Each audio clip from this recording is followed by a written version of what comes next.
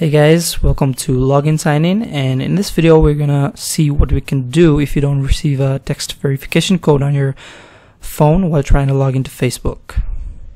Now when you've set up the two-factor authentication and when you're trying to log in from a new device you'll have to either use a code generator on your phone or get a text message on your phone to receive a code and use it to log into Facebook. So if you can't access the code generator, the only way you can log into a new device is a text verification system. And sometimes it may not work for various reasons. So let's see what we can do in that case. Now first off, try to sign in to your account from a new device.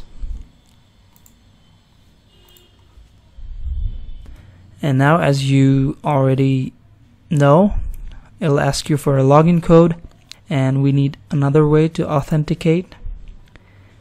And the text system is not working so go to other options and click on submit a request to Facebook.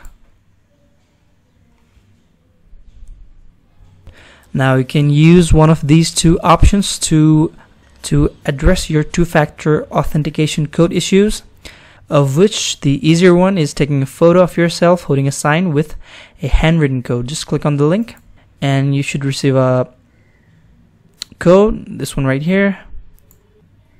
And before anything, you need to fill up these information, the full name of your account, and then the mobile service provider, and choose the issue that you're encountering from this drop down and the third option matches our problem so just click on it and then you can describe the issue in your own words.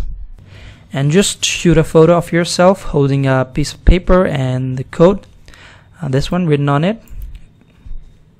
And do make sure it's clean and understandable.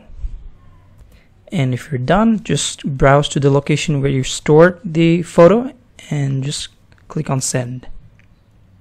And once you click on send you should receive a mail from Facebook in a while with the further instructions. And that's basically how you can fix the problem in terms of the text verification issues. So I hope this was useful. If you like this video, do give it a thumbs up and I'll see you next time.